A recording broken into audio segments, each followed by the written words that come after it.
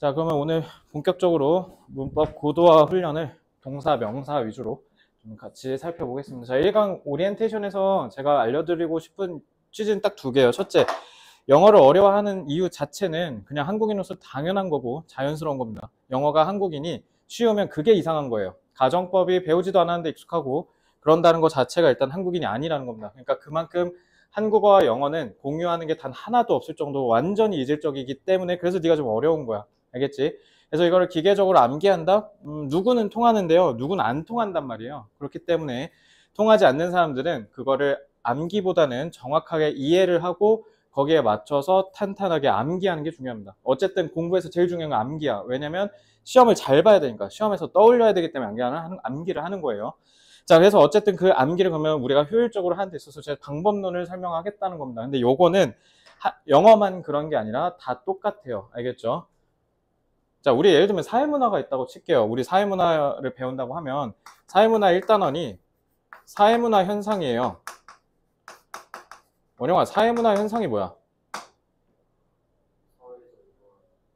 되게 뜬구름 잡죠? 그렇게 안 써 있거든요. 그러니까 이걸 공부를 잘하는 방법이 있는데, 그러니까 서양에서 건너온 학문은 다 이래요. 다 이분법적으로 대립구도로 끊겨요. 알겠죠? 사회문화 현상 실제로 사회문화에서 배울 때 뭐라고 하냐면 자연 현상이라고 대립시켜서 배웁니다. 알겠죠? 자연 현상은 우리가 만들어냈어요? 아니죠. 자연적 현상이죠. 그리고 요게 우리가 이, 뭐 예를 들면 천둥 치면 누구 죽을 죄 지은 거예요? 아니죠. 그러니까 그것처럼 얘는 임의적인 현상이죠. 그럼 끝났죠. 사회문화 현상은 요걸 그대로 대립시키면 인위적이면서 당위적. 당연히 마땅히 그렇게 되는 거. 공부를 열심히 하면 성적이 오른다는 거. 당위적 현상으로 우리가 규명할 수 있죠. 이거 사회문화 현상, 사회문화 시험 보는 애들 맨 처음에 1단원에서 외우거든요. 그러니까 이걸 외울 필요가 없는 거야. 그냥 요거 끌고 와서 그냥 대립시키만, 대립시키기만 하면 된다고요. 그러니까 이런 식으로 우리가 연결을 해나가면서 어떤 개념을 쭉 한 라인으로 정리하는 거. 그게 제일 중요해요. 그게 안 되니까 여러분들이 공부를 할 때 어렵다고요. 알겠죠? 그러니까 대표적으로 이제 사회탐구, 과학탐구, 그 다음에 이제 한국사 영역에서 많이 일어나는 현상인데, 어, 특히 한국사 어려워하는 친구들 잘 보면, 예를 들면 독립신문이라고 하면 독립신문이 이제 독립협회가 발간하는 게 있고, 다른 데서 발간하는 게 있어. 그러니까 이게 이제 헷갈리는 거야. 그러니까 이름이 다 비슷하게 생기니까, 어, 이건 어디서 배웠더라? 막 이렇게 충돌이 나는 거죠. 그래서 국어에서도 대표적으로 가장 많이 일어나는 현상이 어근과 어간 이렇게 그냥 두 개를 떡 배열해 놓고 나면 얘네가 이게 각각 뭔지를 설명을 못 하는 거예요. 그러니까 이런 것들이 다 뭐냐면 체계화가 덜 된 겁니다. 알겠죠? 그래서 저는 매번 입학 테스트 볼 때마다 매번 물어보죠. 원영아 그때 가정법 너 뭐라고 설명했어? 이제 if 하면 망하는 거야. 왜냐면 원어민들 if를 안 써. 원어민들은 if를 안 쓰고 가정법을 써버리는데 그럼 너 그 가정법을 이해를 못 한다고. 그러니까 너가 성적이 곧따인 겁니다. 쉽게 얘기하면. 알겠죠?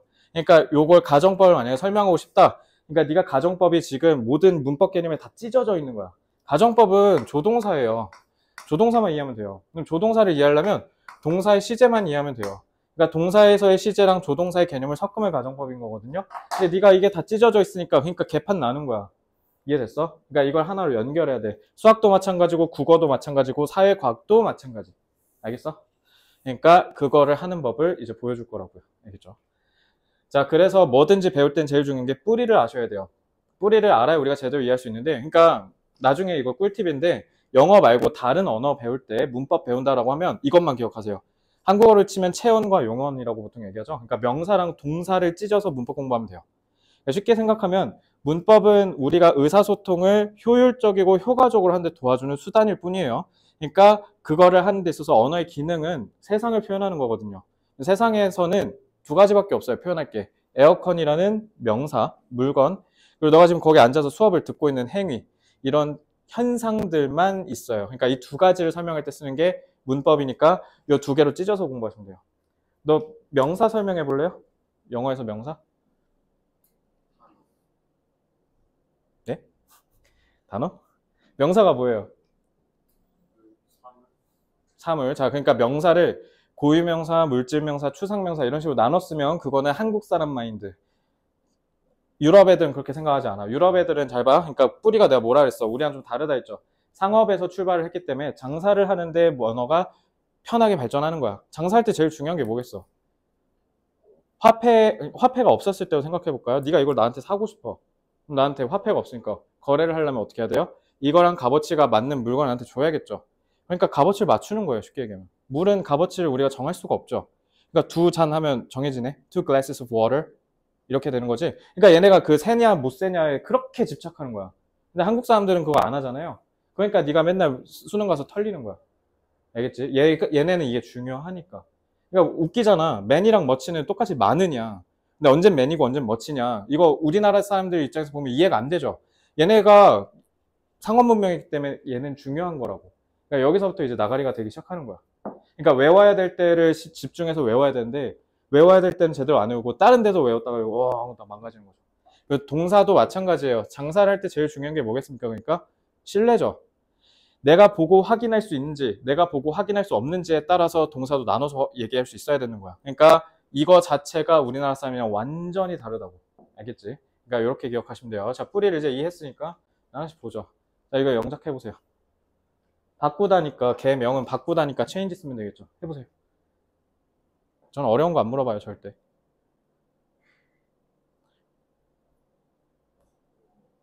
어. 그래, 이렇게 하면 돼요. 잘했어요. 자, 그 다음에 고쳤다. 이것도 해보세요.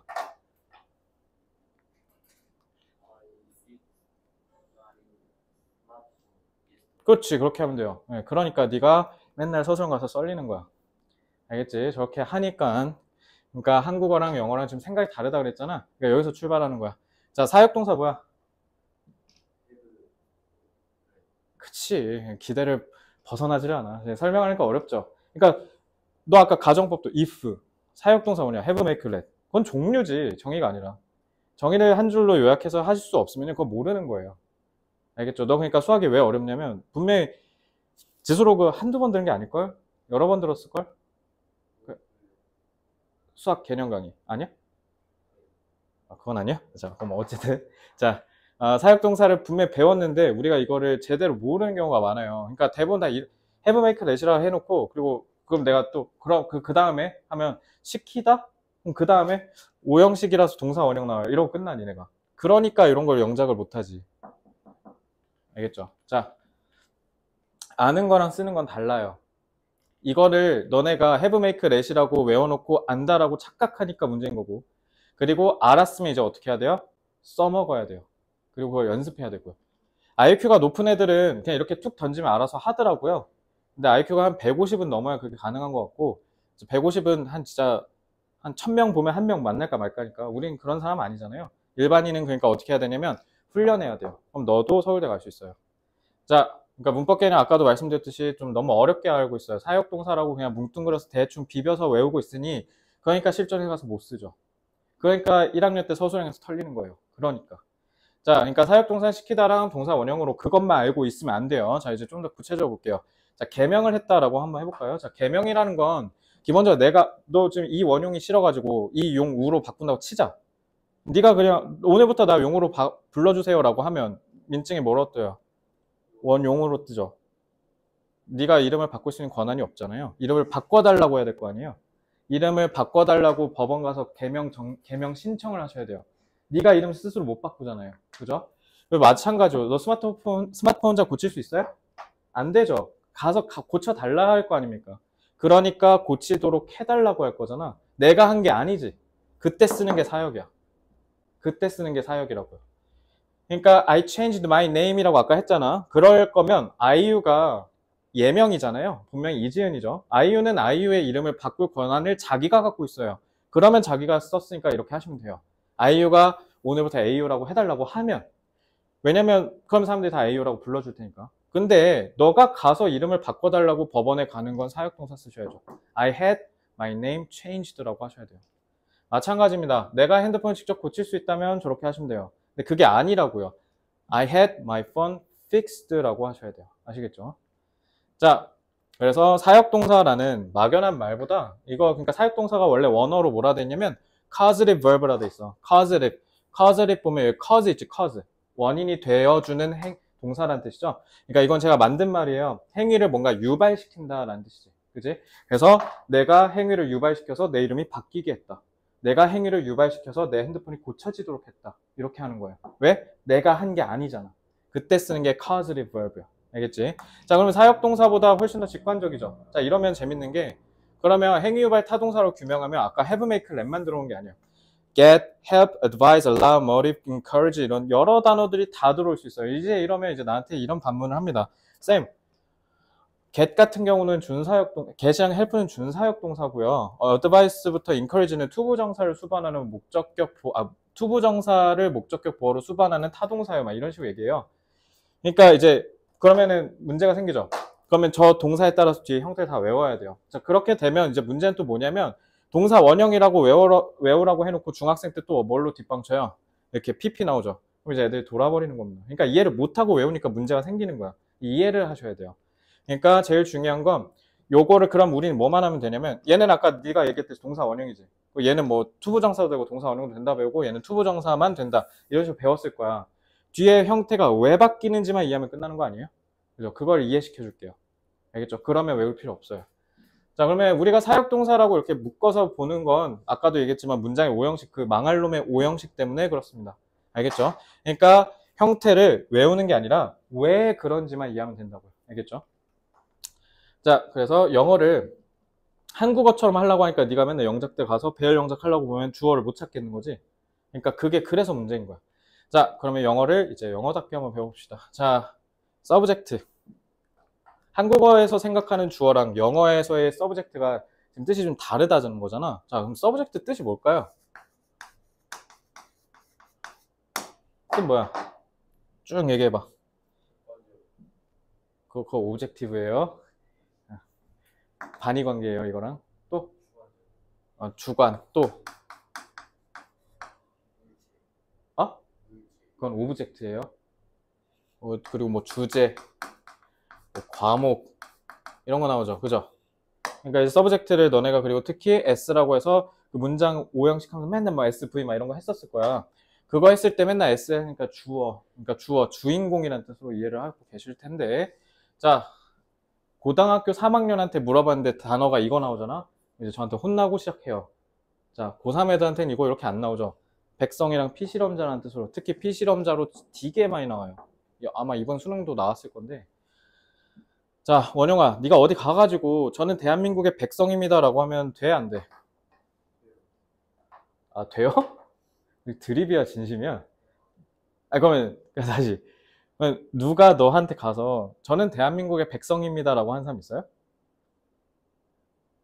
어, 일단 이거 좀 위험한 것 같은 게 사상 검증을 좀 이따가 좀 하고 혹시 경기도 사람 맞죠? 네. 자, 어, 백성은 피지배자예요. 그래서 조선시대 때 군주가 있을 때는 백성이란 말이 되죠. 근데 어떤 미친놈이 대한민국의 백성이랍니까? 알겠죠? 그리고 실험자, 실험을 하는 게 아니라 그 실험을 당하는 사람이잖아요. 서브젝트가 기본적으로 어떤 뜻이에요? 뭔가 좀 당하는 느낌이야. 당하는 느낌이라고. 주인이란 뜻이 전혀 없어. 그러니까 이걸 주어라고 하는 순간 이제 망하는, 망하는 거야. 그래서 한국어에서의 이런 주인이란 뜻이 아예 없다고. 그러니까 오히려 좀 세게 하면 꼬봉이야, 꼬봉. 서브젝트는요, 그러니까 쉽게 하면 숙주가 없으면 뭐, 업, 생존을 못 하는 거야. 뭔가 이렇게 꼽살이 껴서 같이 있어야 돼요. 왜냐면 subject를 제가 어원을 좀 설명드릴게요. sub라는 접두어랑 ject라는 어미가 합쳐진 건데 ject는 간단해. 던진다는 뜻이야. ject. 알겠지? 그러니까 프로젝트 이거 프로 빔 프로젝터라고 하잖아. project가 앞으로 쏜다는 뜻이야. 그러니까 빔 프로젝터라고 하는 거야. 알겠지? 그러면 subject sub가 뭐예요? 밑에다가 던지는 거야. sub subway가 지하철이잖아. 그러니까 밑에다 던지는 거고. 그러면 inject는 뭐야? 던졌는데 안으로 들어간 거지. 그래서 주사 탁 던지는 거야. reject는 뭐야?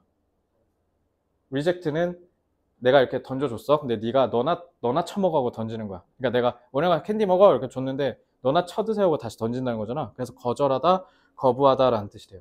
알겠죠? 그래서 어원 외우니까 바로 싹싹싹 외워지죠. 그지? subject는 그래서 어떤 뭔가의 영향력 아래 툭 하고 던지는 거야. 알겠지? 그럼 이 영향력 지배 아래 놓인다는 뜻이야. 알겠어? 그러니까 주인이라는 뜻이 아니야. 요 밑에 부하라는 느낌이야. 그래서 subject는 이렇게 생각하시면 돼요. 그 문장에서 주인공이 아니에요. 나 어제 머리 잘랐어. 그 I cut my hair 하면 서양 애들 되게 이상하게 본다고. 네가 이렇게 했다는 거거든. 원빈 아저씨 마냥 이렇게 밀었다는 건데 그게 아니라 내가 머리를 잘랐다라 했을 때 그 나는 내가 미용실 가서 머리를 미장원 가서 했다는 뜻이잖아. 그지? 그러니까 그렇게 하려면 동사, 그러니까 동사가 있죠. 동사가 있고 이렇게 subject가 있으면요. 이 subject는 항상 뭐냐면 이 동사의 행위의 주체예요. 그러니까 이 동사의 행위를 누가 했냐 밝혀준 거 subject야. 이해됐어? 그러면 아까 머리 자른 거, 아니 아까, 아까 핸드폰 고친 거 너 아니지? 그럼 여기다 fixed 하면 돼, 안 돼?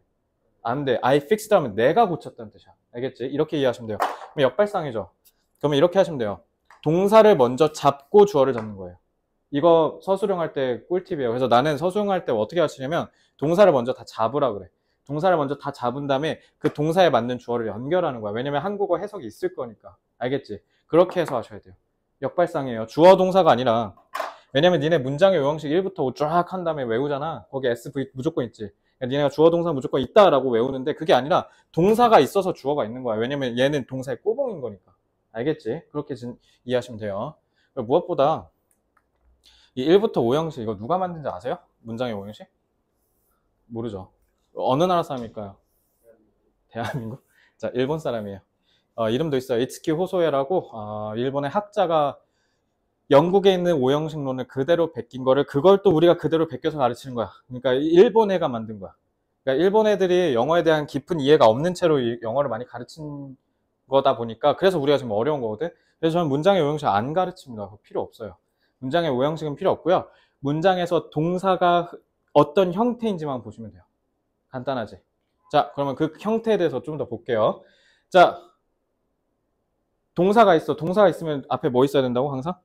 어, 얘네는 근데 이거를 고집처럼 생각해. 그러니까 이게 서양 애들 특유의 고집인데 어떤 현상이 존재하는데 그 주체가 어떻게 없냐라는 거야. 그러니까 주체는 반드시 존재해야 된다고 보는 거야. 내 말 이해돼? 어, 왜냐하면 동사는 주어를 항상 꼬, 꼬봉처럼 이렇게 들고 다니니까. 그러니까 문장 공식에 SV가 늘 있었던 거잖아. 자, 그래서 현상에는 주체가 있어야 된다라고 해서 이렇게 정했잖아요. 그러면 자, 비인칭 주어를 보통 가주어랑 헷갈리는 친구들이 많아. 비인칭 주어는 말 그대로 가리키는 게 없다라는 뜻입니다. 자, 그럼 가리키는 게 없다라는 건데, 자, 지금 비 오나? 지금 비 오나요? 비 와? 아, 안 와요? 아까 비 조금 내렸잖아요. 비 내리는 건 주체가 누구죠? 하느님이 오줌 싸시는 거예요? 몰라, 모르죠? 누구, 누가 저렇게 하는, 물론 지금 과학이 발달해서 수증기가 뭐 위로 올라가서 막 응결하고 쑥 쏟아집니다. 이렇게 하는데, 옛날 고대 영어를 쓰던 사람들 생각으로 가보자고요. 그때 당시만 하더라도 비가 내리는 현상에 대한 주체가 불분명하죠. 그래서 나, 너, 제 3인칭이죠. 제가 나한테 제일 먼 게 3인칭이죠. 거기서 제일 먼 대명사가 it이죠. 그래서 it을 때려박는 거예요. 왜냐면 주체가 없으니까요. 모르겠으니까. 지금이 토요일, 예를 들면 목요일이 it's Thursday죠. 너 Thursday가 뭔지 알아? Thursday? 그거 일, 먼데이부터 썬데이까지가 일곱 명의 북유럽 신이야. Thursday가 그게 토르야, 토르. 토르의 날이야, 목요일이. 그러니까 그럼 오늘이 목요일인 거는 뭐 토르가 오늘 오늘 목요일이야, 뭐 이렇게 한 거야? 잘 모르겠잖아. 그런 초자연적, 자연적 현상들은 주체가 불분명하기 때문에 3인칭의 가장 먼 인칭 대명사 it을 쓴 거예요. 이게 비인칭 주어예요. 비인칭 주어가 이제 뭔지 알겠죠?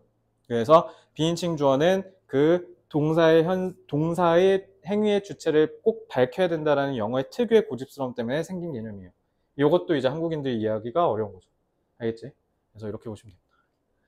자, 그럼 필기 한번 해볼까요? 자, 영어에서 subject는 문장의 주인이 아니에요. 오히려 subject의 기본적인 뜻은 종속의 개념입니다. 그렇기 때문에 영어에서의 subject는 종속의 개념이니까 동사의 종속이 됐죠. 그래서 동사의 행위의 주체라고 이해를 하시면 되겠습니다. 자, 그래서 영어에서 주어는 반드시 뭐가 있어야 된다, 원영아? 동사. good, 좋아요. 자, 동사가 있어야 돼요. 그러니까 주어 동사가 아니라 동사 주어 순으로 이해하는 게 좋다 라고 제가 말씀드렸죠. 자, 이렇게 하고 이제 밑에 확장적 개념의 행위유발 타동사라고 했을 때 영어에서 주어는 동사의 누구를 밝혀준다? 동사의 주체를 밝혀줄 때 쓰는 거죠. 근데 거기에서 직간접적으로 그러니까 즉 간접적으로 영향력을 행사했으면 그때 쓴게 행위유발 타동사라고 말씀드렸어요. 그래서 거기에 맞춰서 동사를 사용하면 된다라고 했고 비인칭 주어는 방금도 배웠듯이 it을 쓴다라고 말씀드렸죠. 그래서 it을 통해서 규명하기, 주체를 규명하기 어려운 현상에서 우리가 보통 쓴다라고 했습니다. 자, 영어가 개꿀인 거 하나 알려줄까? 이거 반대로 우리 우리가 영어 배울 때 어려운 게 저런 거잖아. 우리가 영어 배울 때 제일 어려운 게 관사, 그다음에 조동사, 가정법, 그다음에 가산명사, 불가산명사 이런 거야. 한국어에 다 없죠. 그럼 반대로 미국 애들이 제일 어려운 게 우리나라 말에서 제일 어려운 게 뭘 것 같아? 존댓말이에요. 그러니까 존댓말을 포함해서 그리고 얘네가 제일 골 때려 하는 거. 어쩌면 이것 때문에 그래서 우리나라에서 노벨문학상이 안 나오는 걸 수도 있다라고 하는 게 이게 그 서양 애들이랑 언어가 대응이 안 돼. 예를 들면 이런 거야. 보다라는 용어는 있죠. 이거를 우리는 진짜 엄청나게 늘릴 수 있어. 볼래? 보고 갈래? 보고 싶다. 보고 싶어요. 보고 볼 수 있을까? 볼 수 있을런지 모르겠다. 어때? 개 많죠. 이거 보조용어는 다 달면서 미친 듯이 늘리죠. 이거에서 이제 그 원어 그 영어 원어민들이 넋이 나가는 거야. 돌아버리는 거야. 그래서 이것 때문에 너무 어려워서 뒤에 조립을 했을 때 그 배합을 하는 걸 너무 어려워해. 왜냐면 얘네는 그게 없어. 얘네는 우리는 문장을 되게 여러 가지로 막 청유형도 있고 명령형도 있고 되게 여러 가지잖아요. 영어는 세 개밖에 없어요. 영어는요. 주어, 동사, 순으로 가는 평서문, 동사랑 주어를 뒤집어서 쓰는 의문문, 동사 아, 참고로 저 동사 원형 VR로 써요. 아, 그래서 동사 원형만 쭉 써서 쓰는 명령문 이 세 개밖에 없어. 개꿀이야. 그러면은 요 세 개로 늘려서 쓰는 거야. 그래서 우리는 청유문이 집에 갈래 이거잖아. 청유문 영어로 뭐라, 뭐라고 하는데? 아, 그러니까 영어로. Why don't you라고 하죠. 이거 중딩 때 커뮤니케이션을 배우죠. Why don't you 근데 의문사잖아요. 의문사, 의문문. 그지? 그러니까 얘네는 의문문으로 청유문을 만드는 거야. 그러니까 얘는 이 세 개밖에 없어. 알겠지? 이제 명령문인데, 명령문 지금 동사 원형을 시작하죠. 그게 왜 그러냐면, be quiet, 조용히 이렇게 하지. 어, 어때? 지금 이 말을 듣는 사람이 너로 특정되죠. 왜냐면 주어가 you예요, you. 근데 어차피 듣는 사람 너로 한정되니까 주어는 생략하고 동사 원형으로 때려박는 거예요. 알겠죠? 그래서 주어가 없는 게 아니라 생략된 거야. 알겠지? 그래서 따라서 별도의 주어 표시 없이 그냥 바로 뭐로 시작하면 돼요? 동사 원형으로 시작하면 되죠. 그래서 이렇게 필기하시면 됩니다. 자, 됐죠? 다음 넘어갈게요. 자, 밑에, 밑에 팝 퀴즈 있지? 이거 풀어봐. 뭐라 하면 돼?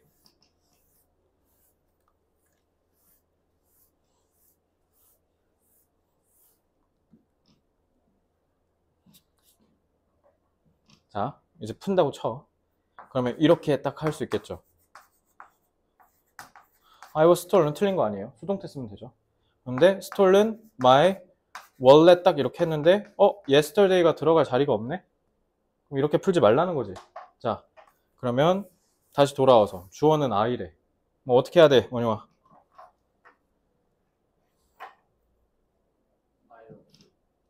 I로 없어. 아니, I로 시작하라니까. 말을 외웠, 외웠어요. 주어는 I로 시작해야죠. 자, 그럼 요, 요거 한번 볼까요? 도난 당했다. 누가 훔쳐갔다는 거지.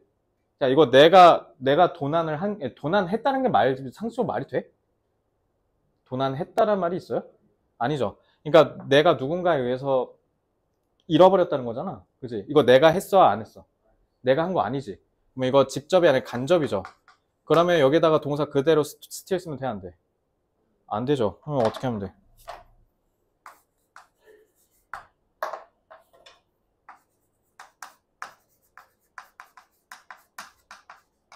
이건 지금 칸이 오타 나서 그런데 예, 이렇게 하면 돼요. 자, 이렇게요. 알겠죠? 요게 이제 동사와 주어의 관계를 제대로 이해했으면 영작을 적게 쉽게 할 수 있는 겁니다. 간단하죠? 다 필기했어요? 음. 요즘 졸리니? 음. 수동은 아니죠. 수동이라 했으면 was stolen이라고 했겠지. 근데 사실 그거 의미 의미 구분이 좀 의미가 없는 게 여기에서 애초에 지금 수동의 느낌으로 지금 써 있잖아요. 수동문이라 보셔도 되기는 해요.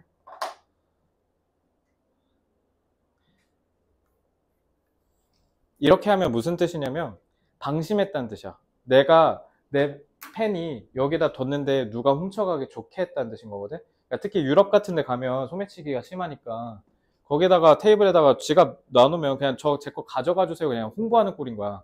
그러니까 그런 식으로 내가 잘 모르고 방심해서 거기다 뒀어. 누가 훔쳐갔어. 그럼 딱 이렇게 쓰면 돼. 이해돼? 내가 방심해서 어떤 한 행위를 했는데 그 행위로 인해서 내 지갑이 없어진 거잖아. 그때 딱 안성맞춤인 문장이에요. 알겠죠? 자, 그 전략화라는 말을 아까 제가 까먹었는데 고도화로 이렇게 쓱 해서 이제 개념을 외웠 개념을 정리했지. 그 시험에 가장 궁극은 시험 공부의 가장 궁극적 지향점은 뭐라고? 뭐 해야 된다고? 암기야. 그러면 시험 때 못 못 떠올리면 쓰레기를 공부한 거야. 이해됐어? 시험 때 떠올려야 돼. 그러면 이제 진짜 파블로프의 개마냥 툭 치면 바로 팍 나와야 돼. 알겠어? 내가 앞으로 이제 매번 얘기할 거야. 이게 그래서 전략화 훈련이었죠. 전략화 법칙의 1번이에요. 자, 동사 하면 무조건 뭐 떠올려야 돼? 그렇지. 그렇게 하면 돼. 알겠지? 동사가 뭐라고? 오케이. 자, 다음 할게요. 자, 여기가 영어의 꽃이에요. 여기만 이해하면 영어의 절반이 해결됩니다. 근데 요거를 사람들이 잘 몰라요. 자, 한국어는 지금 봐. 주어랑 목적어 그대로 연결해서 쓰지. 근데 영어는 목적어가 뒤에 나오죠. 이러니까 우리가 영어가 어려운 거야. 상대적으로 근데 중국 애들은 그나마 우리보다 영어를 좀 잘해요. 왜냐면 어순이 똑같아요. 워, 아, 니 이렇게 하거든. 그러니까 요 어순조차도 안 겹쳐. 그러니까 돌아버리는 거야. 그러니까 일본 애들이랑 한국 애들이 특히 못하는 겁니다. 영어를. 그래서 한국어는 너 그 국문법에서 배우긴 했을 거야. 우리 국문법 책에도 있거든. 너 그 국문법 있잖아. 거기 보면 완료상, 진행상 막 이런 거 있지. 그 시제도 있고 그거. 그거 다 영어 문법 참고해서 우리가 정리한 거야. 그러니까 우리가 현대 국어 문법을 정리할 때 참고의 가장 근간이 된 게 영문법이에요. 그래서 영문법에서 많이 가져왔거든. 그래서 우리나라 말도 자동사, 타동사가 있어. 근데 그거 우리 필요 없어. 수능에 안 나오지. 왜냐면 자동사, 타동사 구분이 할 필요가 없는 게 애초에 서술어가 나오기 전에 목적어가 이미 나와버리니까. 그래서 우리는 구분을 잘 안 해요. 근데 얘네는 해야 된다고. 자, 이게 왜 중요한지 내가 보여줄게, 이제. 자, 일단 자동사, 타동사 개념만 정리해 볼게요. 저는 이제, 그러니까 예를 들면, 문장의 오형식 너네 배울 때, 뭐 S, V, O 이런 식으로 하잖아. 이 V를 이렇게 하고 끝내면 안 돼. 무조건 얘가 자동사인지 타동사인지 구분하셔야 돼. 그러니까 나중에 나한테 안 배워도 되는데 만약에 나중에 진짜 좋은 학원 가고 싶으면 만약에 강사가 이거 자동사 타동사를 너무 집요할 정도로 구분한다. 그럼 그거 좋은 강사예요. 알겠죠? 왜냐면 영어에서 제일 중요하거든요. 그래서 저는 앞으로 어떻게 표기할 거냐면 동사는 이게 중요한 게 아니야. 이게 중요해. 얘가 동사가 뭔지. 알겠지? 그래서 앞으로 쌤은 표기를 할 때 이렇게 표기할 거예요. 자, 이 표기를 하는 이유는요. 앞에 얘는 I고 얘는 T라서 그런 거야. 알겠지? 자, trans가 뭐야? trans. 그치, 옮기는 거야. 그래서 옮기는 동사란 뜻이야. 코로나 바이러스라고 생각하면 돼. 그냥 쉽게 얘기하면. 그럼 얘는 인이 붙었으니까 아니, 안 옮긴다는 뜻이야. 그러니까 지 혼자 한다는 거야. 감염 못 시키고. 그러니까 타동사는 뭐냐면 내가 너한테 내 동사의 에너지를 토스하는 거야. 알겠어? 이게 타동사야. 그러니까 반드시 옮겨야 되니까 뒤에 무조건 뭐가 와야 되겠어? 옮겨야 되니까. 목적어야. 뒤에 반드시 타동사 뭐가 와야 된다고? 목적어가 와야 돼. 왜냐면 옮겨야 되니까. 알겠지? 근데 자동사는 있으면 돼, 안 돼? 혼자 하잖아, 혼자. 그러니까 없어. 그럼 하나씩 볼게. 자, marry. marry 뜻이 뭐예요? 결혼하다. 자, 결혼하다는 자동사일까, 타동사일까? 아? 왜? 자,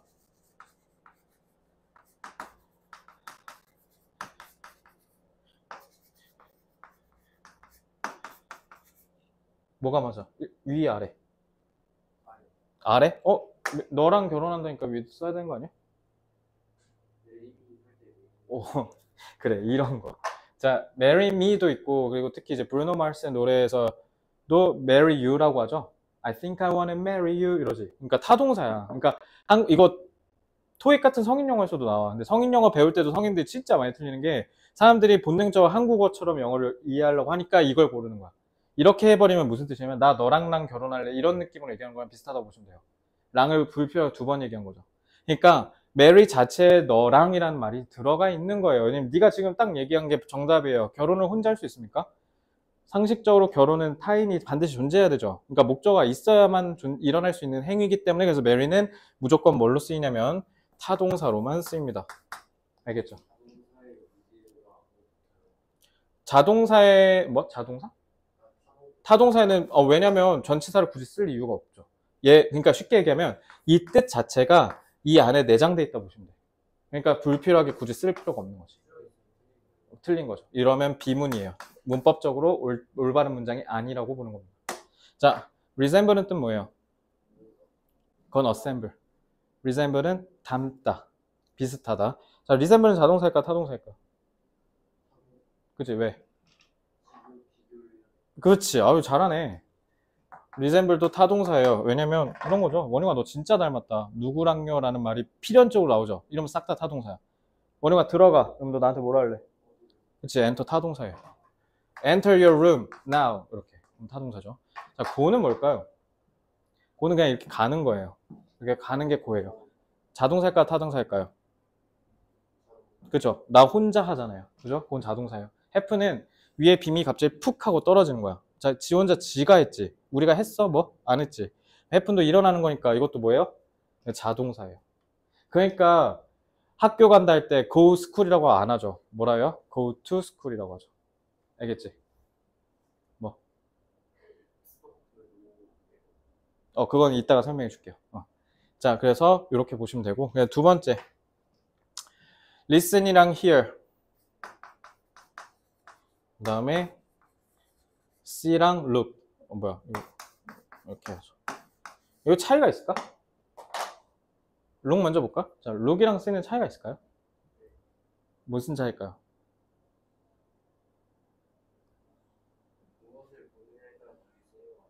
무엇을 보느냐에 따라 무엇을 보느냐에 따라보다는 주어가 어떻게 바라보냐에 따라 다른 거야. 가령 나 좀 봐봐 영어로 해봐. Look at me라고 하죠. 네, 잘 봐. 내일 보자 영어로 해봐. 편의, 편의점 이름이잖아. see you. 뭐 뭐? see you. 또 봐. 어, 잘 봐. 어, C는 뒤에 you가 나오는데 look은 at you라고 했지. 그지? C는 타동사야. 그러니까 이거 차, 기준이 뭐냐면 얘는 자동사고 얘는 타동사야. 마찬가지로 listen도 자동사고 얘는 타동사야. 그래서 이런 느낌이야. 음악 듣는다는 I'm listening to music이죠. 그냥 귀때기 열고 그냥 스피커 틀면 그냥 들리잖아. 그러니까 listen to를 쓰는 거야. 노래 들을 땐. 근데 너가 말을 하는데 네가 너무 조그맣게 해서 내가 잘 안 들려. 그러면 내가 이렇게 해서 I can listen to you 하면 미친놈인 거야. 왜냐면 나는 지금 목적성을 갖고 정확하게 너한테 귀를 갖다 대고 듣는 거지. 어때? 목적어가 있어야겠죠. 이러면. 그래서 I can hear you라고 해요. 보통. 이해돼요? 그러니까 목적성을 정확하게 갖고 찍어서 하냐 아니냐의 차이인 거야. 그냥 내가 여기 서서 그냥 눈 뜨고 이렇게 봐. 이건 룩이야. 룩 이렇게. 근데 C는 이렇게 가서 이렇게 보는 거야. 그러니까 see you라고 인사하는 이유가 나 내일 너 볼 거야 라는 뜻이야. 어? 아니요. 그냥 방금 근데 look at you라고 했잖아 네가. 본능적으로 알고 있잖아. 그냥 그걸 그냥 입혀서 이해하시면 돼요. 외울 필요는 없어요. 어, 뒤에 정리해 줄게요. down. 자, 이해만 해. 내가 알아서 다 해줄 거야. 그냥 받아만 먹어. 자, 그럼 이제 나한테 그 아까처럼 이런 얘기 해. 쌤, 그럼 자동사랑 타동사 그럼 이렇게 연병할 거 이거 다 외워야겠네요? 그러니까 아니에요. 자동사, 타동사 둘 다 쓰는 경우가 훨씬 많아요. 90%예요. 자, 이것도 봐봐. My grade is increasing. I will increase your grade. 그 다음에 I'm walking with my friends in the park. I'm walking my dog in the park. 이렇게 돼 있잖아. 이건 특히 이제 중학교 2학년 애들 문법 책에 나오는 예문이에요. 자, 여기에 있는 increase가 증가하다잖아. 자, increase 이거 자동사야, 타동사야? 자동사. 그럼 여기 밑에 있는 것. 그렇지. 왜? 뒤에 뭐가 있으니까? 목적어. 그러니까 얘는 자동사, 얘는 타동사. 그러니까 얘는 뭐라 하면 돼? 내 성적이 오르고 있어. 이렇게 상승하다라고 해석하면 되는데 이거는 뭐야? 나는 네 성적을 올려줄 거야. 상승시키다라고 해석하면 되죠. 자, 이것도. 이건 자동사야, 타동사야? 그치, 뭐, 명사 없잖아. 이거 전치사잖아, 명사가 아니라. 그럼 얘는, 그렇지. 워크가 뭐예요? 걷다예요, 걷다. 나는 지금 걷고 있는 중이라는 뜻이죠. 근데 얘 봐봐. 걷는 이 에너지를 다른 애한테 토스했다는 거지.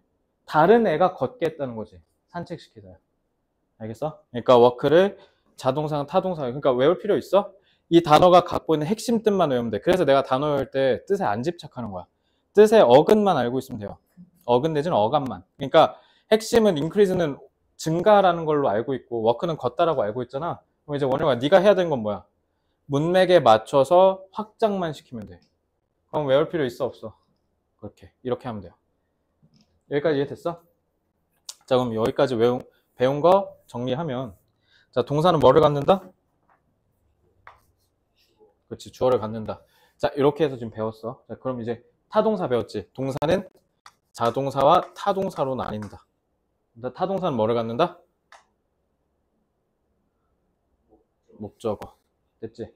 그러니까 동사 자체가 항상 옵션으로 꼬봉으로 주어를 데리고 다니고 앞에다 그리고 타동사 한정 항상 얘는 뭐를 해?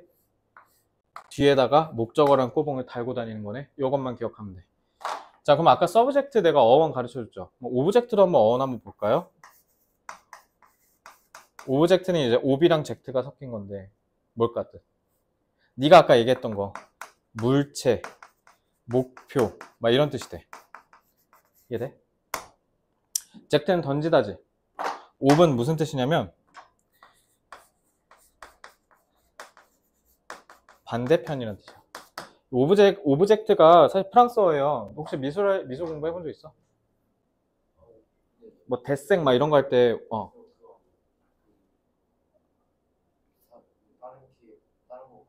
어, 데생할 때 앞에다 세워놓고 뭐 이렇게 막 그리잖아. 그거 오브제라 하잖아. 어, 이거야.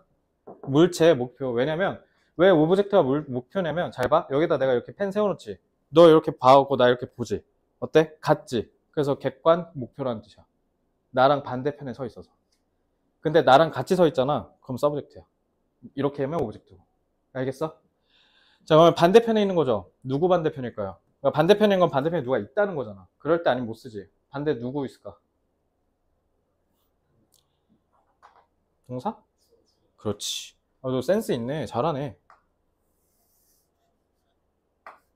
주어랑 목적어랑 항상 같으면 돼, 안 돼? 안 돼. 이, 아, 이제 3년 전이라 해야 되나? 3년 전 대학, 대학 수학 능력 시험 영어 문법 문제가 있었어. 그거 이제 요거 몰라서 털린 거거든? 이제 하나씩 볼게요. 아마 그거 뒤에 예문으로 나올 거야. 이따 뒤에 보고요. 자, 오젝트니까 다른 놈이야. 누구 기준으로? 주어 기준으로. 그럼 같으면 돼, 안 돼? 안 돼. 그래서 I love me라고 하면 될까, 안 될까? 안 돼가 늦게 나오거나 되지 않아요 라고 하면 그게 한국 마인드야. 그게 동아시아 마인드라고. 다시 한번 얘기할게. 얘네가 언어상으로 object는 애초에 반대편이라 했잖아. 그럼 여기랑 같으면 돼, 안 돼? 같으면 성립이 안 돼. object는 애초에 달라야 돼. 그래서 I love me라는 말은 안 돼요. 애초에 성립 자체가 안 돼요. 내 말 이해돼요? love가 타동사잖아. 타동사는 반드시 어떻게 해야 되냐면 다른 놈이어야 돼. 주어랑 달라야 돼. 그러니까 무조건 달라야 되기 때문에 I love me라고 하면 안 돼. 근데 원영아 너, 너 스스로 사랑합니까? 사랑해요. 그러니까 너가 너를 사랑할 수 있는 거네. 아 이거 내라고 하... 근데 이게 참 대한민국이 슬퍼진 게 너 사랑하니 하면 머뭇거리는 애들이 많아 요즘. 어 잘 모르겠어요 막 이러고. 그러니까 이게 참 슬픈 거죠. 예, 이렇게 바로 나오는 게 진짜 좋은 건데 그래서 조금 덜 사랑해도 되지 않을까라는 생각이 좀. 자, anyway, 자 제기대명 그러니까 이게 제기대명사가 이게 뭐냐면 너가 너 사랑한다 했죠. 주어가 행위를 타동사의 행위를 했는데 그거의 목적어가 자기일 수 있거든. 그게 제기대명사야. 이 제귀라는 말이 이게 다시 제자 재결합할 때 그 제자고 귀가 복귀할 때 귀자예요. 다시 돌아왔다는 뜻이야. 주어에 있던 명사가 목적어에 다시 돌아왔어요 라는 뜻이야 알겠지? 애초에 제기대명사 그러니까 한자 뜻풀이만 했으면 끝나는 거네 그러니까 제기대명사 언제 쓰는 거야? 주어랑 목적어가 뭐 할 때? 같을 때 끝. 이게 다야 개념 자 그럼 타동사는 뒤에 무조건 뭐가 있어야 된다? 어 근데 내가 아까도 내가 얘기해줬지 자동사는 건 목적어를 취하면 안 될까? 라는 거자 룩은 그냥 자동사라서 눈 뜨면 보이는 거지 근데 눈을 떠서 봤는데 내가 너로 이렇게 고정해서 볼 수 있잖아. 그지? 그러면 어떻게 해야 되냐라는 거야. 목적 대상이 분명 존재할 텐데. 자, 이 문제를 해결해야 돼요. 자, 나는 그를 향해서 바라보고 있는 중이다. 이거 아까 영작했으니까 이건 그냥 그대로 가면 I'm looking at him이라고 하면 되죠. 끝났네요. 그러면은 수학적으로 정리하면 돼요. 이거 그럼 전치사만 이해하면 되잖아. 전치사만 짤막하게 설명해 드릴게요. 전치사가 뭐예요? 뭐, 뭐예요 이거? 전치가 이게 한자로 뭐냐면 앞전자에 역시 오랜만에 써서 이거 둘치자 틀렸을 수도 있거든요. 앞에 둘치, 둔다는 배치할 때 치자. 앞에 둔다라는 거거든. 그러면은 뭔가 앞에 있다는 거지. 그럼 뒤에 뭐가 무조건 있어야만 쓸 수 있는 거지. 전치사 혼자 쓸 수 있어 없어? 그럼 전치사 뒤에 뭐 써야 돼? 혹시 그거 배웠어? 명사. good 좋아. 네, 한 번에 해결해 줄게. 자, give it to me가 맞아, give it to I가 맞아. me가 맞지? 그지? 그러면 명사를 항상 무슨 격으로 써? 목적격으로 쓰네? 끝났네. 그러면 잘 봐. 타동사는 목적을 반드시 가져야 되지. 자, 이걸 수학적으로 해결해 볼게요. 그럼 항등식을 성립시켜. 같대. 항상 같아야 돼. 여기는 항상 뭐를 쓰고? 자동사를. 알겠지? 그러면 항등식이 성립하려면 얘도 목적가 있어야 되는 거잖아. 그러면 이렇게 하고 싶으면 뭐 여기다 전치사에 아니 자동사 뒤에다 뭐만 넣으면 돼? 그렇지 끝. 이러면 항등식 성립하지. 왜냐면 목적격이니까요. 뭐 고로 타동사는 뭐랑 같아? 자동사 플러스 전치사. 됐죠? 이렇게 하면 돼요. 그러면은 looking at은 자동사야 타동사야 이렇게만 보면 타동사죠. look은 자동사지만 전치사랑 섞여서 타동사니까 이렇게 보시면 돼요. 그럼 아까 했던 얘기가 이해가 좀 돼요? look은 자동사지. 근데 at이라는 전치사가 섞였으니까 전치사는 뒤에 무조건 명사가 있어야 돼. 혼자 못 써. 그 이름부터가 일단 전치잖아. 뒤에 뭐가 있다는 거잖아. 그지? 뒤에 뭐가 없으면 못 쓴다는 뜻이야. 그러면은 목적격 쓰잖아. 그러니까 목적어 이렇게 듣잖아. 끝. 아, 이 항등식이 지금 이해가 안 돼요? 이거? 이거 그대로 이거 빼온 거야. 그러니까 이거 이거 목적 꼭 같잖아. 이항 정리한 거야. 쉽게 얘기하면 그럼. 목적을 안 써도 된다고? 아, 아, 그러니까 쉽게 타동사는 봐. 타동사는 무조건 뭐 있어야 돼? 목적 있어야 되잖아. 그지? 그러면은 전치사, 아니, 자동사에다 전치사 넣었으면 이렇게 되는 거잖아. 그러니까 자동사에다가 전치사를 섞으면 타동사는 같은 거라고. 그 얘기한 거야. 어, 알겠지? 깔끔하게 정리해 줄러 이렇게 뺀 거야, 내가. 이해됐어요? 어. 자, 이것도 정리해 볼까요? 그러니까 여기서 제일 중요한 게 이거야. 영어 내 모든 수업에서 제일 중요한 거야, 이게. 자동사랑 타동사만 구분하면 그냥 다 끝난 거야, 사실상. 자, 이것도 봐봐. 영어의 별명이 있어요. 영어의 별명. 이거 근데 모든 영어 1타 강사들이 다 얘기하는 건데, 영어의 별명이 위치 언어야. 예를 들면 내가 그 영어 단어 외울 때 품사 외우지 말라 하지. 왜냐면 품사를 외우는 것 자체가 무의미해. 왜냐면 품사는 문장에서 네가 정하면 돼. 왜냐면 영어는 순서에 맞춰서 배열하는 언어고 우리는 기능에 맞춰서 조립하는 언어야. 그래서 우리는 문장 단어를 보내기 전에 조립을 먼저 해. 나는 그래서 주격조사 는 넣어서 보내고 너를 너라는 목적에다가 목적격 조사 붙여서 본- 보내고 이렇게 하잖아. 근데 영어는 그게 아니라 다- 단어 레고 블럭을 쭉 갖고 와갖고 자기가 던지고 싶은 순서에 맞춰서 이렇게 툭 던지는 거야. 그래서 영어의 장점이자 단점이거든. 왜 그러냐면 영어는 잘 봐. 그래서 우리나라 사람들한테도 이게 대응하는 한국어가 없으니까 우리 그냥 다 콩글리시로 쓰잖아. 대표적인 게 아, 한글로 쓸까? 구글링. 이게 나는 영어의 단점과 장점을 동시에 표현하는 아주 대표적인 단어라고 생각해. 구글링이라는 단어 자체가. 그러니까 I'm googling 하면 뭐야? 나는 지금 구글에 검색하고 있는 중이야. 구글은 고유명사잖아. 근데 그걸 동사 자리에다 넣으면 뭐야? 동사가 되는 거야. 그러니까 이게 영어의 장점이야. 하나의 단어를 그냥 그 위치, 자기가 정하고 싶은 위치에 맞춰서 쓰면 기능이 정해지는 거야. 그래서 굳이 아득바득 단어 뜻 외울 필요 없어. 이거 봐봐. water 물이잖아. I want some water 하면 물 좀 달라는 거고. 이거 봐봐. I will water my plant soon 이러면 나 이따가 내 화분에다 물 줄 거야 라는 뜻 되지. 그러니까 water가 지금 동사 자리, 그것도 타동사 자리에 들어갔잖아. 그러니까 동사의 핵심, 단어의 핵심 뜻만 외우고 그 뜻을 너가 위치에 맞춰서 던지기만 하면 돼. 그래서 너네가 어렸을 때 뻑 하면 맨날 S, V 막 이런 거 했잖아. 그래서 한 거야, 사실은. 어렸을 때. 이 위치 잡아야 돼서. 근데 그건 이미 나 만나기 전에 했잖아요. 굳이 안 해도 돼요, 이제. 직감적으로 다 아실 거예요. 그러니까 이제 요거를 너가 자동사, 타동사 이제 의식적으로 구분하면서 공부하시면 돼요. 이해됐어?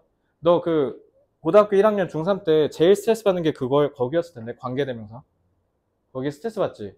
어, 언제는 무슨 와- 완전이니 불완전이니 니네 그거 잘 모르잖아. 그걸 왜 모르냐면 니네가 자동사, 타동사 구분을 잘 못해서 그래. 이거 하면 끝나는 거야. 원영아 이해됐어? 오케이. 자, 목적어 없이니까 누구야 이거? 자동사. good. 자, 자동사예요. 그 다음에 반면에 목적어가 반드시 존재해야 된다는 건 타동사겠죠. 자, 그러니까 자동사, 타동사 구분하라고 하지 말라고. 하지 마. 하지 말고 그냥 뭐해? 동사의 핵심 뜻만 던져 그냥. 그리고 그냥 떠오르는지만 보면 되고 그리고 어차피 겸하는 경우가 많으니까 뭐에 따라서만 보면 돼? 문맥에 따라 적절히 해석하는 연습을 하시면 돼요. 그래서 드디어 이제 문맥이라는 말이 나왔으니까 잔소리 한 10초만 하고 넘어갈게요. 자, 원영이가 영어에서 제일 못하는 게 뭐라고 생각해요? 단어 빼고. 문법. 자, 저한테 입학 상담 와서 제일 많이 하는 얘기. 우리 애는 문법이 약해요. 저는 문법이 좀 너무 약한 것 같습니다, 쌤. 자, 이 문법이 약하다라는 얘기를 니네가 다 어디서 얘기하냐면 문제 풀 때 얘기해. 문법 문제를 풀 때요. 문법을 잘 몰라서 문법 문제를 틀리는 걸까요? 그 편견을 깨는 게 시드 오아시스 교재예요. 네가 문법을 못한 이유가 문법을 모르고 문법 문제를 못 풀어서일까? 어떻게 생각해? 그러니까 니네가 이 편견에 갇힌 건데 니네가 지금 영어에서 푸는 문법 문제들 다 문법이 아니죠. 가령 예를 들어 볼까요? 너 국문법 했다 했지?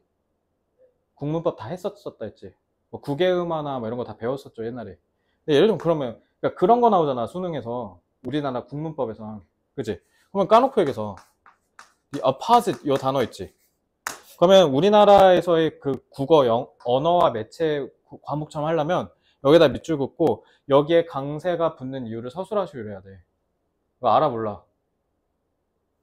모음과 모음 사이에 있는 자음은 강세가 돼요. 내 말 이해돼요? 근데 이런 거 물어봐 안 물어봐? 안 물어봐죠. 안 물어보죠. 그래서 사실 정확하게 얘기하면 문법에는 어법이에요. 말할 때 규칙. 그래서 너가 왜 자신이 없냐면 해석을 못해서야. 이따가도 문법 문제 보여줄 건데 네가 해석을 못해서 못 푸는 거야. 문법 문제는 다시 한번 얘기하지만 우리나라 사람들이 대부분 못하는 이유가 문맥을 잘 못 짚어요. 문맥을 짚을 줄 알아야 돼요. 이거를 해야 우리가 올바르게 독해를 하는 거예요. 그래서 저는 문법, 훌륭한 문법 실력 뭐라 얘기하냐면 문맥을 올바르게 짚을 수 있는 능력이라고 봐요. 여기서도 봐. water, 명사로 쓰였고 동사로 쓰였다라는 걸 구분할 줄 아는 거지. 뭐를 통해서? 문맥을 통해서. 이해됐어? 어, 원영아 이게 제일 중요해. 알겠지? 문맥을 통해서. 그래서 제가 하나만 딱 말씀드릴게요. 제가 문법 강의를 하면서 외우라고 하는 건 거의 없을 거야. 하물며 비인칭 줘도 이해시켜줬죠. 왜 그렇게 쓰는지. 문법을 외워서 해결할 수 있는 건 거의 없다고 보시면 돼요. 다 이해할 수 있어요. 그러니까 외우 억지로 외우지 마시고 제대로 논리적으로 이해한 다음에 문맥에 맞춰서 훈련만 하면 돼. 원영아 이해됐어? 그래서 오늘 오아시스 숙제 나갈 거야. 아시겠죠? 자, 그러니까 increase는 자동사 그러니까 뜻이 뭐야? 자동사면 증가 그냥 하다라고 하면 돼. 근데 타동사로 쓰면 뭐라고 하시면 돼요? 뭐뭐를 증가시키다라고 하시면 되겠죠. 이거는 한국 사람이라면 충분히 갖고 있을 수 있는 역량입니다. 그래서 밑에 보면 I'm walking with my friends. 이거 아까 했던 거지? 나는 걷고 있는 중이다. 그리고 이거는 나는 개를 산책시키고 있는 중이다. 이거 뭐를 통해서 아까 판단한 거야, 원영아? 뒤에 뭐가 있는지? 그렇지. 그게 문맥 파악하는 거야. 자, 마지막이에요. 목적어가 있다는 건, 어, 원영아, 목적어가 있대. 그럼 동사가 무조건 뭐여야 돼? 다시, 목적어가 있대. 다시, 타동사. 좋아. 자, 그러니까 타동사일 수밖에 없다는 거야. 자, 그래서 목적어는 반드시 주어와 달라야 돼요. 근데 달라야 되는데 같으면 그때 뭐 쓴다고? 다시 목적어랑 주어가 같을 때. 그렇지, good. 재귀 대명사라고 하시면 되죠. 자, 그 다음에 확장 개념. 자, 타동사가 되려면 자동사에 뭐 쓴다? 아까 네가 얘기한 대로? good. 그러니까 아까 봤던 예시대로 보면 C를 쓰려면 look에다가 뭐라고 하면 돼요? at을 쓰면 되겠죠. 그치? 자 이렇게 하시면 된다. 자 그럼 우리 재밌는 문제 한번 풀어볼까요? 자 수동태로 이거 한번 전환해 보세요. 자 she로 바, she로 전환하면 되겠죠 주어를.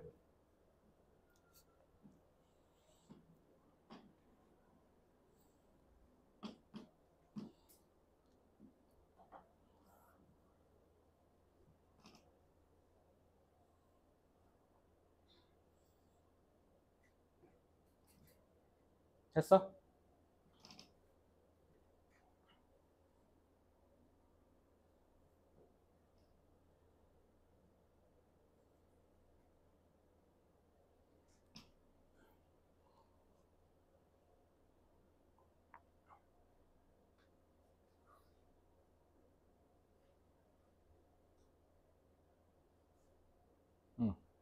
자, 요, 요거, 여기가 동사잖아.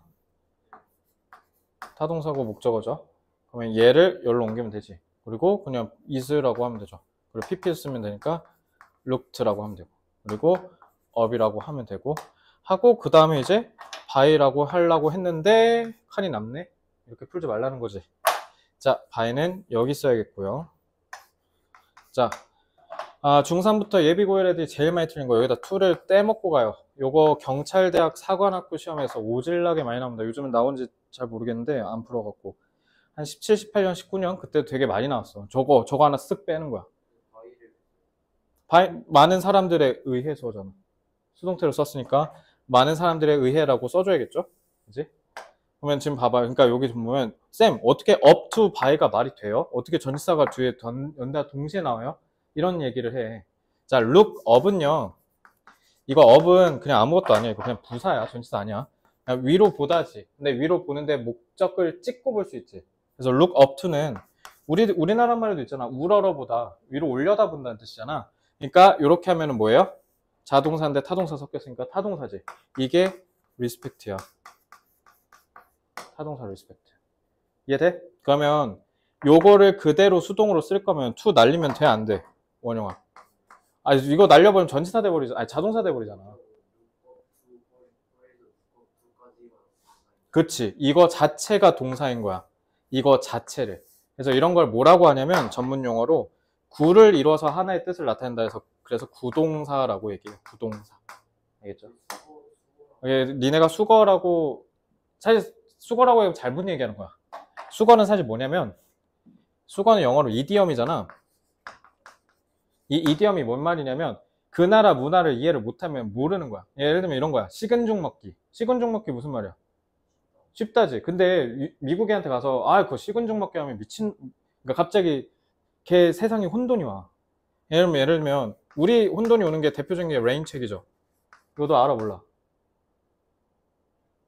비 올 때 수표야. 비 올 때 주는 수표란 뜻이야. 모르지? 레인책은 오늘 여의치 않으니까 다음에 내가 쏠게 란 뜻이야.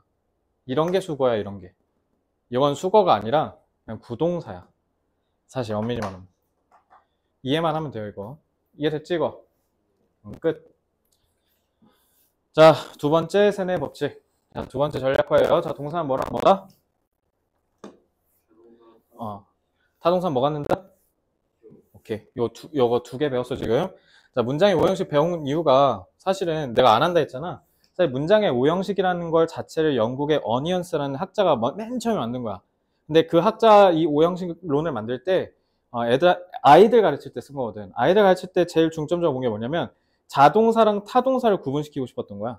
자동사랑 타동사.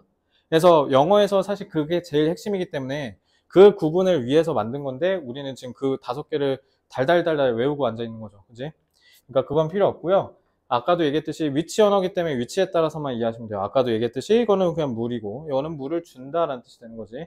그러니까 그 위치는 어떻게 해야 돼? 너가 훈련을 통해서 익혀야 돼. 근데 사실 이거는 이미 된 게 아까 나 좀 봐 할 때 네가 me라고 본능적으로 얘기했지. 이미 우리가 언어, 영어는 어느 정도 언어적으로 습득이 돼 있어요.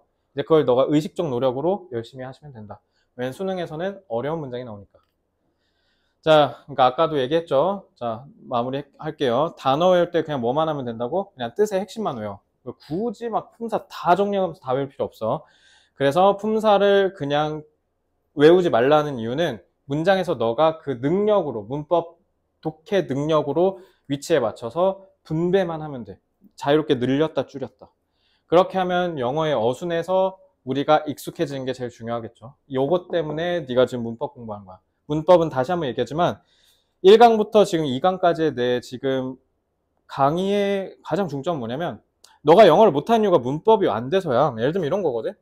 그래서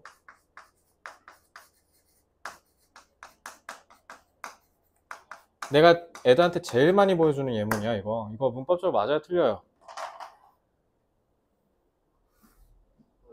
그죠? 그러니까 네가 영어를 못하는 거야. 이게 영어 문법에서 정해진 건데 전치사구가 맨 앞으로 나가지. 그럼 여기서 도치가 일어나. 그래서 북 쓰니까 is가 아니라 are야. 웃긴 건 이게 모의고사 수능에 엄청 많이 나오거든. 그러니까 니네가 또 가서 또 공부하는 거야.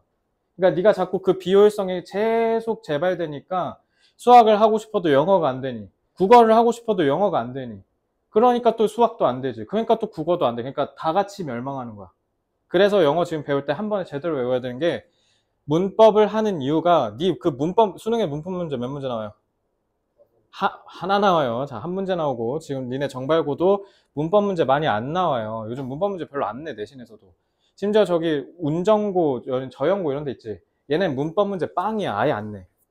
그러니까 문법 문제를 맞추려고가 아니라 문법을 제대로 알아야 독해가 제대로 된다고. 그래서 박스 안에 내 책들이 있다. 이렇게 해석하셔야 돼요. 이해됐어요? 그래서 하는 거다. 그러니까 영어의 어순에 익숙해진 게 우리의 관건입니다. 자, 이제 봐. 정리해 볼게. 우리 이거 배운 거야. 자, 동사는 주어를 가져요. 동사는 자동사와 타동사로 나뉘어요. 그 타동사는 꼬봉이 목적을 달고 다녀요. 라고 해서 문장의, 그러니까 쉽게 오형식 배운 거야, 지금. 문장의 형식에 대해서 배운 거예요. 동사를 기준으로 주어, 목적을 갖는다. 이것만 아시면 돼요.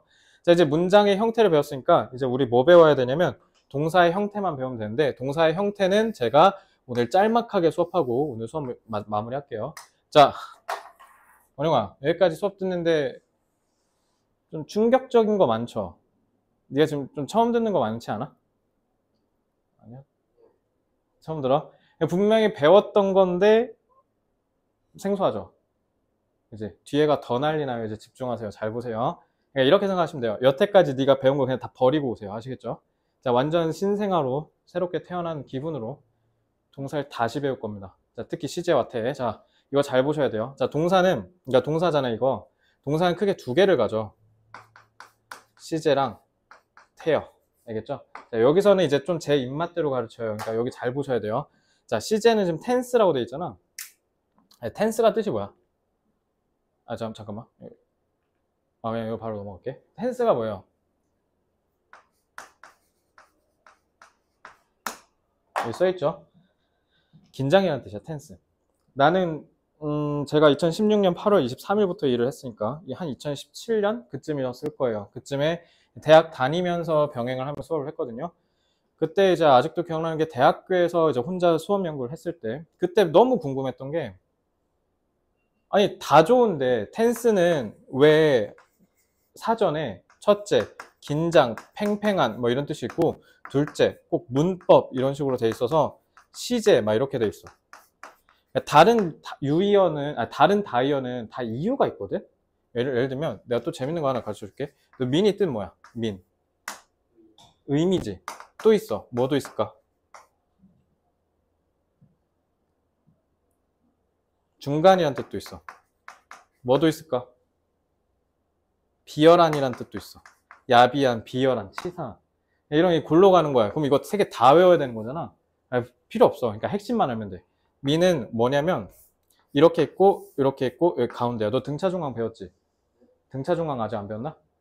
등차 중앙이 수열로 치면 4, 8 하면 6 이게 등차 중앙이야. 가운데 있는 거.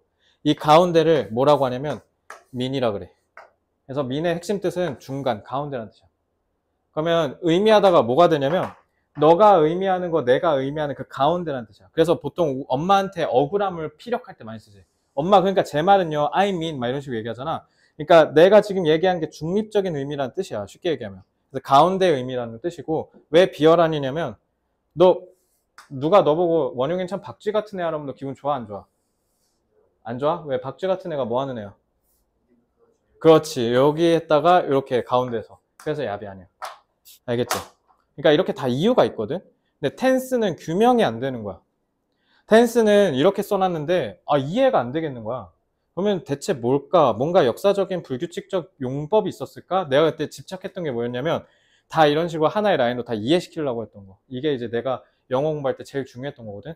근데 끝끝내 시제만큼은 극복을 못했어. 이게 어, 이해가 안 되는 거야. 그래서 딱 봤는데 알고 보니까 시제 긴장이에요. 그래서 이제 제가 여기서 하나만 파격적인 얘기를 할게요. 시간 아닙니다. 알겠죠? 텐스는 시간이 아니에요. 자, 그러면 시, 시간이 아니라 뭐냐면 내가 표현하는 게 긴장감을 얼마나 부여하는 거야. 텐스는 긴장감이니까. 자, 그럼 이 긴장감을 내가 조금 더 이해시켜 줄게. 자, 동사의 시제는 시간 표현만 나타내는 게 아니라, 그러니까 쉽게 얘기하면 이게 부분집합이죠. 시제 안에 시간이 들어간다고 보시면 돼요. 쉽게 얘기하면. 알겠어? 그러면 현재 시, 그러니까 시제가 크게 두 개야. 아까 내가 이분법조 다 끝났다 그랬지. 그러니까 이- 그 서양에서 온 애들은 이게 두 개로 끊으면 돼. 현재 시제, 과거 시제. 자, 그러면 시제는 두 개야. 뭐 너 아마 이렇게 배웠을 걸? 현재, 과거, 미래, 현재 진행, 과거 진행, 미래 진행, 현재 완료, 과거 완료, 미래 완료, 현재 와- 진행, 아, 뭐, 뭐, 12, 12시제야, 뭐. 아, 12시제론? 아, 무슨 자축인무 진사오미도 아니고. 그러니까, 시제는 두 개예요, 두 개. 알겠죠? 자, 현재랑 과거만 보는 건데, 자, 그럼 tense의 present 돼 있지. present가 뜻이 뭘까? 아, 참석하는 게 이게 말 그대로 뭐냐면, 지금 있다라는 뜻이야. 존재한다는 뜻이야. 그러면은 지금 상태에 긴장감이 존재하는 거야. 알겠어? 패스트는 쌩 하고 지나친 거지. 그러면 긴장감이 있어 없어? 없어. 긴장감이 지나친 상태라는 뜻이야. 그러니까 이렇게 생각하면 돼. 현재 시제는 고무줄로 치면 이렇게 땅 당겨가지고 타이트하게 한 거고 과거 시제는 뭐야? 느슨하게 푸는 거야. 여기까지 이해돼? 자 그러면 시제를 우리가 쓸 때는 동사의 행위가 그러니까 이거 말대로 이렇게 긴장감을 부여한다는 건 뭐야? 나한테 지금 당장 영향을 줄 수도 있다는 거지. 그러면 이렇게 하면 영향 줘, 안 줘? 안 주지. 자. 자, 시제랑 시간에 관련 있다, 없다? 그럼 자. 현재 시제 과거 쓸 수 있어요, 없어요? 있어요? 과거 시제 미래 쓸 수 있어요? 아니죠. 그죠? 아니, 방금 앞에는 있고, 뒤에는 안. 저 의견 통일 좀 해줄래? 되는 거야, 안 되는 거야, 그러니까? 안 돼요. 그러면 과거 시제 미래 쓰면 안 되겠네? 시간과 무관하다니까. 너 이런 생각 해본 적 없어?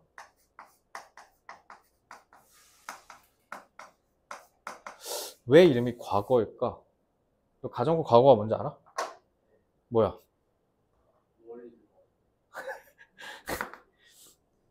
어, 그렇게 하면 안 돼. 자. 쉽게 얘기하면 이거거든?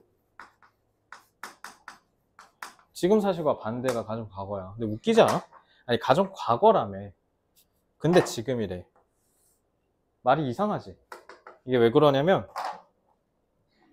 얘네가 얘기하는 시제가 시간에 상관이 없어. 알겠어? 이 아이디어를 너가 유연하게 받아들이면 요게 쉬워져 있다고. 알겠어? 그래서 과거에 아니 저 미래의 과거 시에 쓸 수 있다 없다. 있다야. 알겠어? 있어. 그래서 긴장이 말이 너무 어렵죠. 이거 제가 만든 말이에요. 이렇게 시- 이해시켜 줄게. 현재 시에는 눈에 보이고요. 과거 시에는 눈에 안 보여요. 너 아까 아침 뭐 먹었어? 아, 너 방학했냐? 어, 아침 뭐 먹었어?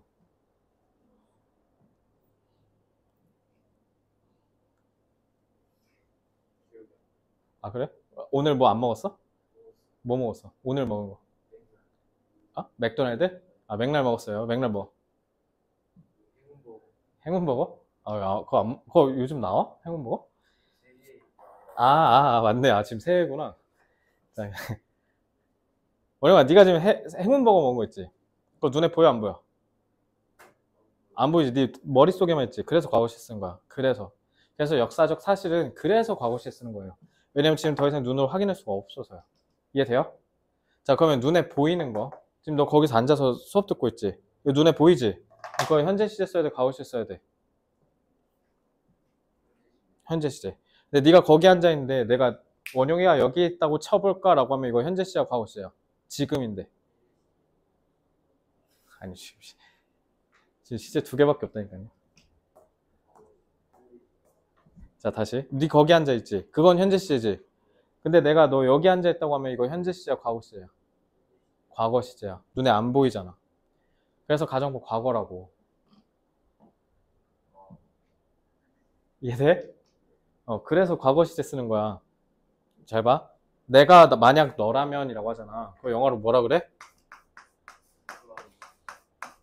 이렇게 하지. 간단해. 내가 너일 수 있어요? 없죠. 그럴 수 없기 때문에 과거시에 쓰는 거라고. 그래서 가정법 과거라고. 요거라서. 이해돼? 너 좀 빨리 집에 가고 싶어 하는 것 같은데? 아니야?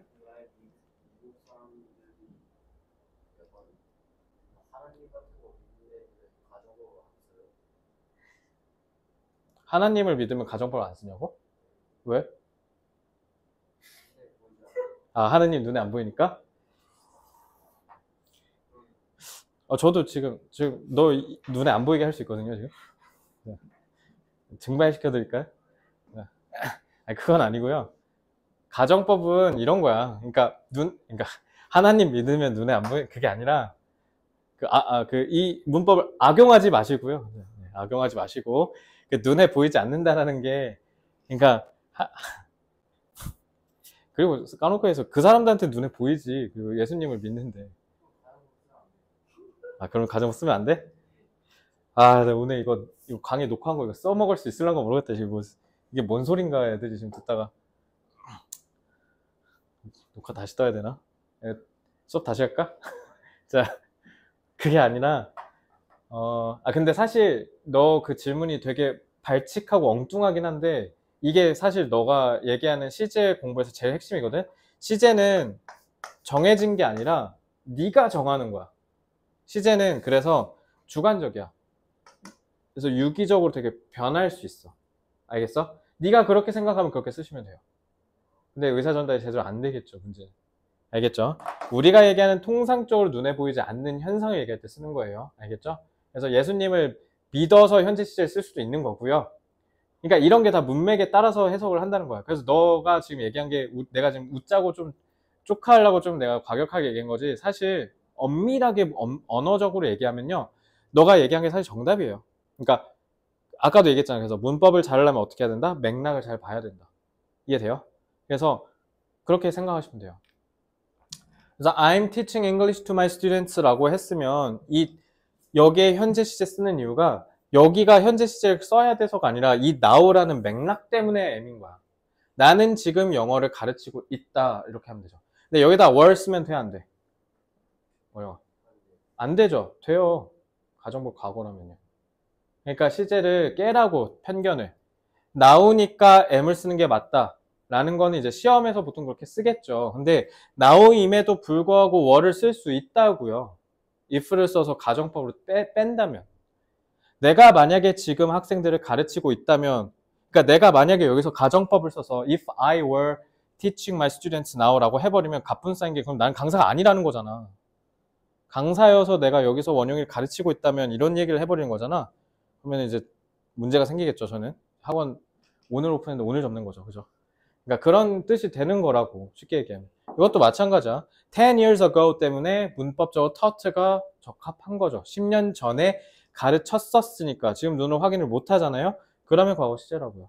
근데 이렇게도 할 수 있다고요. 나우를 쓰고 터트라고 해도 돼요. 왜? 가정법이니까요. 그러니까 내가 지금 학생을 가르치고 있다면 나는 영어를 더 빡세게 할 텐데. 그러니까 이거 자 퀴즈. 이 말을 한 사람이 영어 강사다 OX. X지. 왜? 내가 학생을 가르친다면 이라는데 과거 시절 써버렸네. 눈에 안 보인다는 건 지금 사실이 아니라는 거야. 그러니까 나는 영어 강사 아니라고. 현재 시제면 뭐, 뭐 나는 강사인데 지금 이 자리에서 내가 이 수업을 맡은다면 뭐 이런 맥락이 될 수도 있겠죠. 어. 되게 재밌지 않아? 문법을 통해서 네가 자유자재로 휘면 돼. 응용만 하면 돼. 그러니까 시제는 아까도 얘기했듯이 너가 지금 얘기한 대로 주관적이야. 그러니까 굳이 막 꽂아서 넣을 필요 없어. 알겠지? 너가 자유자재로 맥락에 맞춰서 해석하면 돼. 그러니까 수학처럼, 그러니까 수학이랑 문법이랑 메커니즘 자체는 같아요. 정한 규칙에 맞춰서 쓰는 거니까. 근데 수학이랑은 영어가 좀 다른 건 메커니즘만으로는 돌아가지 않는다는 거. 예를 들면 한국어도 마찬가지나. 난 사랑해 널. 야, 이거 맞아? 엄밀히만 틀리죠. 우리는 목적을 먼저 쓰잖아요. 근데 너 된다 그랬지. 이게 문학적 표현이죠. 그래서 이런 보통 문학적으로 문법적 파괴라고 등 얘기하죠, 문학에서. 되거든요. 그래서 문학, 문, 그 언어는 구사하는 사람의 주관이 들어가기 때문에 다소 수학보다는 부드러워요. 메커니즘대로 안 흘러간다고. 알겠죠? 자. 그러니까 너는 오늘 이것만 기억하면 돼. 네가 문법을 잘하고 싶다 했지. 그러면 해석을 잘하면 돼. 결국 해석이야. 관건은. 그러면 해석을 잘하면 또 뭐도 필요해. 원영아. 단어. 네가 독해가 구린 게 문법을 못해서야. 그러면 독해를 하려고 하는데 독해가 안 되기 시작해. 왜? 단어가 안 되니까. 이 두 개가 쌍끌이야. 알겠지? 그러니까 단어 95개 이상 맞으셔야 돼요. 다음 주 월요일부터. 그래서 문맥을 정확하게 살피는 거에서 와요. 문법 지식을 다 아는 게 아니라. 그러니까 저는 지금도 봐봐. 나 다 버리잖아, 지금. 네가 여태까지 배웠던 것 중. 그지? 지금 사실은 정석대로 가면 무슨 뭐 1형식은 완전 자동사, 2형식은 뭐 불완전 자동사, 막 이런 거 해야 돼. 그런 거 하면 뭐 하냐고. 지식이 아니라 맥락을 봐야 돼. 그러니까 지식을 늘리지 말고 맥락을 보시면 돼요. 해석해서 풀어야 돼요. 이해됐어요? 자, 그러니까 이건 아까 얘기했던 거지. 그래서 opposite이 두 번 나오는 이유를 서술하시고 이런 거 안 나오잖아요. 그러니까 제대로 활용해서 해석 연습을 하면 된다. 잠깐만. 어, 그거 날려버렸네? 제기대명사에서. 원래 여기서 제기대명사 문제 하나 풀어야 되는데 그걸 제가 지금 타이핑하면서 날렸나 봐요. 그래서 그것만 보고 오늘 수업 마칠게요. 그거는 그냥 문제로 보죠.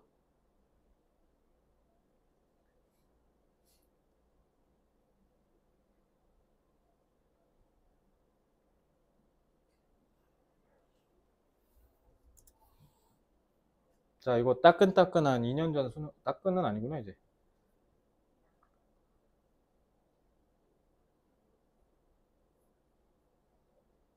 자, 다른 건 다 필요 없어요. 이것만 보면 돼요. 여기만. 여기. 여기서부터 요거. 이거 정답률 살발합니다. 절반도 못 맞췄어요. 한번 풀어보세요. 맞나 틀린지.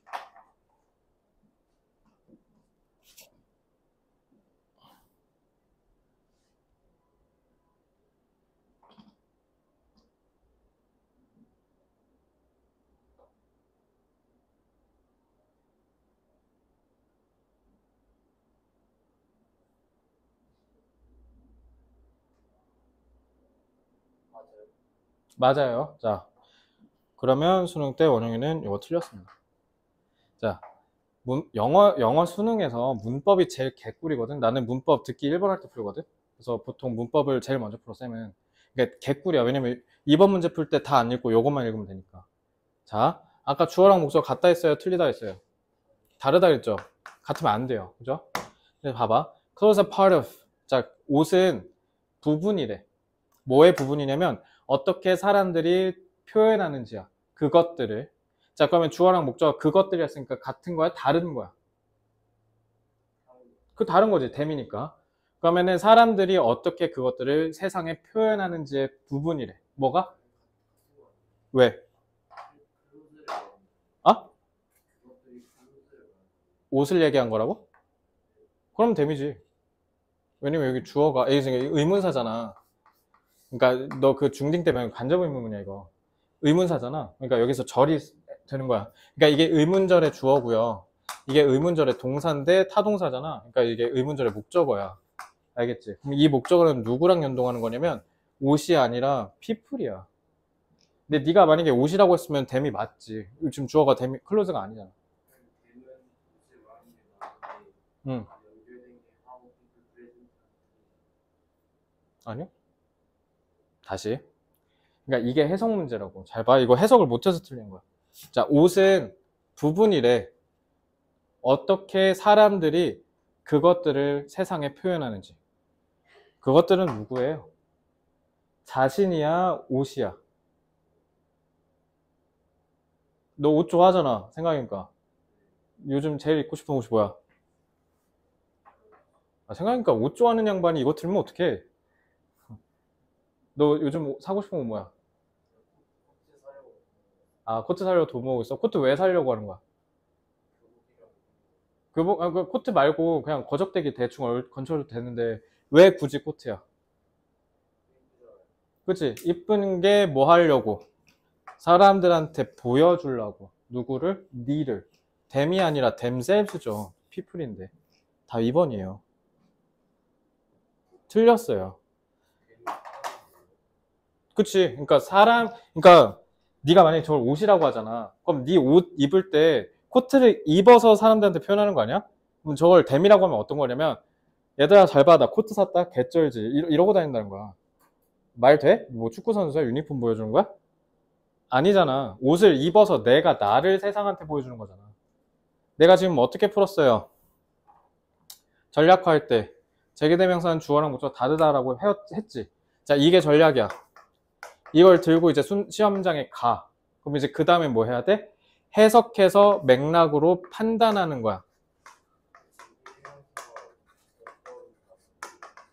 뭐라고? 제기대명사가 어떤 단어냐고? 뭔 말이야?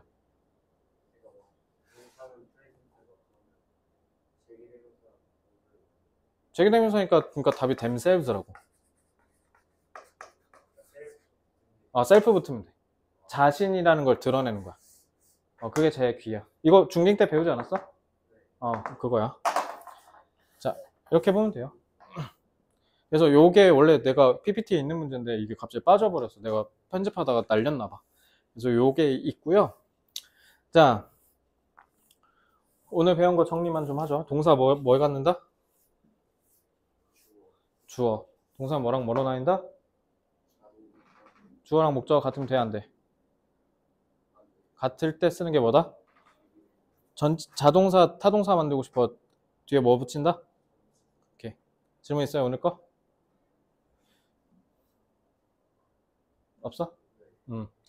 다음 수업 때 이제 뒤에 이어서 쭉 나가고요. 오늘 일단 진도 나간 범위까지 제가 아, 그 오늘 배운 거 복- 개념 복습해 오시면 되고 그리고 오아시스라는 교재를 통해서 제가 시험 아, 숙제 내줄 거예요. 아시겠죠? 자, 그러면 그 오아시스 잠깐만 펴볼래 앞에?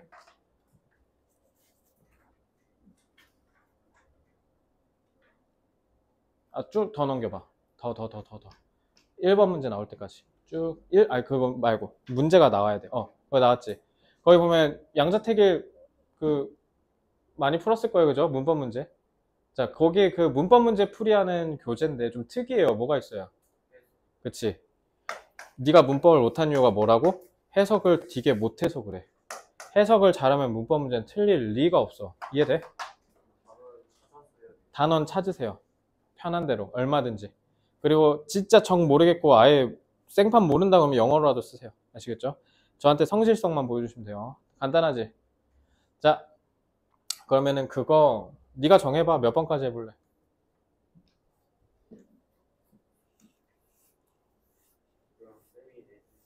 20번까지 일단 하세요. 아, 다음 주 월요일까지지. 아, 근데 단어가 있으니까 단어가 좀 빡셀 거야. 그 너가 수학도 해야 되니까 다음 주 월요일까지 그거 20번까지 문제 푸는데 문제 풀면서 나는 문제 푸는 거 솔직히 관심 1도 없어요. 저는 뭐가 관심 있을까요? 해석이요. 해석 비어 있거나 대충 해왔거나 안 했거나 그러면은 제가 지옥으로 보내드리겠습니다. 아시겠죠? 어, 네가 열심히 하겠다고 했으니까요. 그죠? 오케이. 그럼 오늘 여기까지 하고요. 고생 많으셨습니다. 그거랑 단어 1부터 5. 야, 너 듣기 다 맞는다 했나? 듣기 다 못 맞아? 어, 그럼 듣기도 연습해야겠네. 잠깐만.